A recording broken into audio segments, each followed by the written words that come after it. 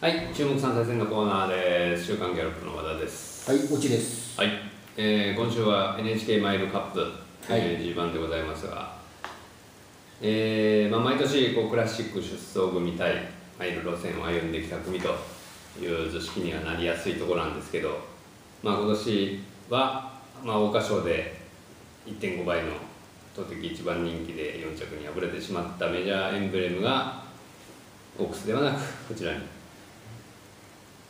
矛先を向けてきましたけれども。はい。うーんまあ前回はまあ自分の競馬ができなかったことに尽きるかなとうん。いうところもあるんですがまあどう見ましたか？そうですね。なんでかなという、なんでかな？なんでああいう競馬したのかなという点。うんまあ行こうと思えばね、うん行けそうな感じはあったんですけどね疑問が残ったね。ちょっと、うん、控えるような形まあちょっとスタートで若干遅れ気味ではあったんですけどね、あえて出していかなかったようにも見えた感はありますけれども、前哨戦でそれをやって本番でクイーンカップみたいな競馬するんだったら分かるんですけどね。うん逆ならね。ねうん。まあその辺がちょっとなんでかなという。はい。気持ちが強かったです。桜花賞に関しては。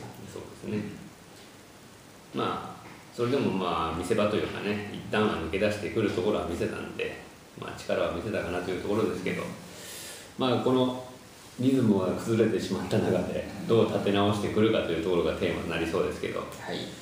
うーんまあ1週前に帰球して、まあ、雰囲気は、えー変わりなく良さそうなんですけどねうんまあとりあえずクイーンカップ先ほど話出ましたけど小橋板で圧勝したような競馬ができればいいんじゃないかなと思う反面、うん。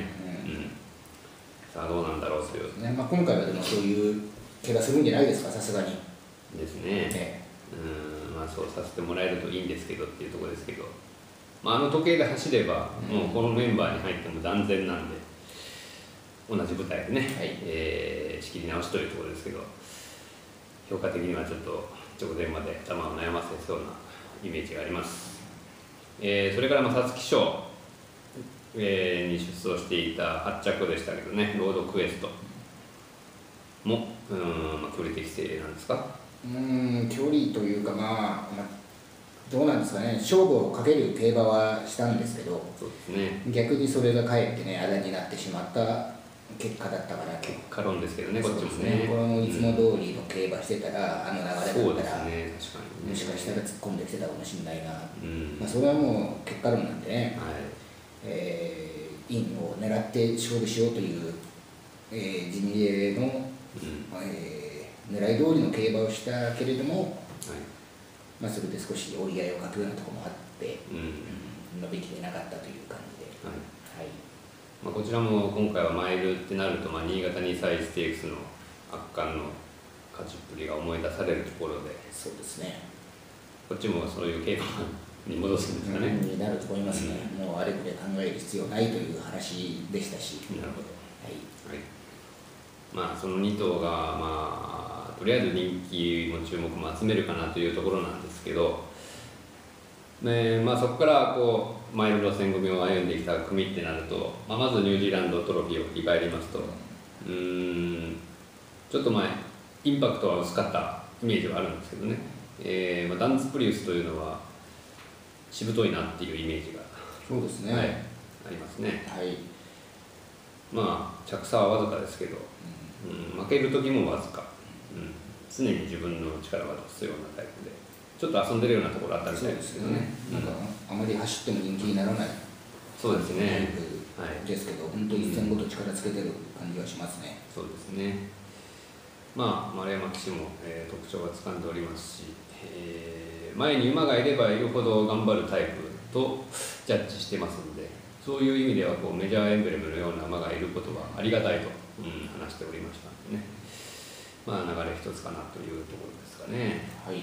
はいえー、まああとはどうですか？ファルコンステークスか、うん、これ勝った東証ドラフターっていうのはなかなかこれも地味ですけど。そうですね。崩れませんうね、ん。まあ田辺騎手にスイッチしてから、えー折り合い面もね、うん。良くなっても指す競馬がですっかり板について、そうですね。まあ、3連勝してきて全て1004なんですけど、はい。で1006は2戦とも惨敗してるんですが、うん。えー今ならマイルでもという雰囲気がありますね。そうですね、まあ意欲的っていう意味では一周前の動きを見てもそうですここにかけてきている意気込みがすごく伝わってくる印象もありますのでね、はい。はい。まあ、決して前前回は不良馬場でしたけど、道悪が得意というわけではなさそうですし、はいそうですね。うん。両馬場の方が切れる足を使えるだろうというところもあると思います。はいえー、とあとは何ですか、溢れてこなきゃいけないところってなると、えー、イモータルじゃないですかね。共同通信杯ね、はい。まあ、D マジェスティが勝ったことでクローズアップされてきておりますけれども、はい。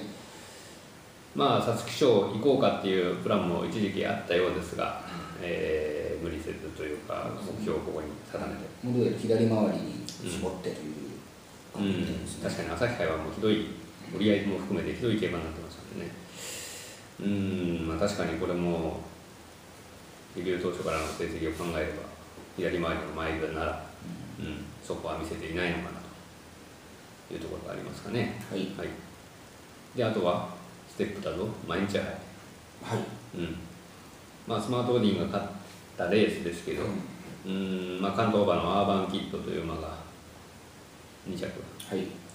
もうこれ3つも赤敗続きなんですけど、はい、まあ、ようやく賞金は加算してうん G1 出てきたんですよね、はい。えーまあ、スローペースの中で上手に競馬はできてましたよね前走もね、なるほえー、姉妹も33秒0って足を使ってきましたし、ど、うん。えー、新馬勝ちしたのがやっぱ東京のマイルなんで、はい、えーこの舞台でそう引きは取らないんじゃないかという感じはしますね、まあ、一勝馬ではありますけど、うんなるほど。で、えーあとは決闘馬というところで藤沢厩舎のティソーナ、えーこれもまあ1004で連勝してきたんですけど、まあ、一戦ごとに競馬を覚えてきたというイメージで、まあ、前回に関してはノーステッキなのでまだまだ、えー余力は十分にあったということで、まあ、マイルでも、えーまあさっきの東証ドラフターとかにもかぶるんですけどあの頃はまだこうねリラックスして走ることができていなかったんで、えーその辺りが1004を使ったことで逆に、えー落ち着きを増しているということで、えー、1006は OK だろうと。いうところで、えー、G メの撤退はありありでしたね、はい。まあ、結構難しそうですね。そうですね。面白そうですね。うん。うん。結構いろんなところから馬が来てるんで、うん。面白いですよね。そうですね。その力の比較をどう判断するかにはい。馬券的にも変わってくるんじゃないかという感じです、まあ、ここはじゃあ直前まで、えー頭を悩ませたいところです。はい。えーそれからまあダービーに向けてのステップレースが、えーあって、えーまあ、まず東京ではトライアルに指定されているプリンシパルステークス、まあ、1着馬にしか優先出走権はないんですが、えーまあ、青葉賞に比べると、うん、あまりに豪華すぎたんでね、青葉賞は。えーちょっと1枚落ちるかなというところもありますけど、うん、まあ、ゼイビントン、連勝中のゼイビントであったりとか、うん、人気なのかなっていう感じですね。あとは、まあ、血統背景から言うと、エアグループのラストクロック、ショパン、えーこれが休み明けになりますけど、えーここからダービーへの夢をつなごうと登場してきますので、えーまあ、関東のファンの方は、えーぜひ見てあげていただきたいなと思います。えーそれから京都大商店うんもありまして、えーここはスマートオーディンが中心になるのかな？そうですねはい。えーまあ、毎日配下しながらも、皐月賞をあえてパスして、はいえーダービーを取りに来たはい松田国で調教師の、うん、意気込みが伝わってくる。絆ローテだって言ってましたねうん、なるほど。新しいローテーションですかね。うん。まあ、ここで結果出せば、ダービーでもそこそこ、ね、そうですね。3強、4強の一角をはい。に割って入るぐらいの能力は秘めておると思いますので、はい、注目したいと思います。はい、ということで、えーその3レースあたりですかね、ね。もね、はい。えーお楽しみいただきたいと思います。はい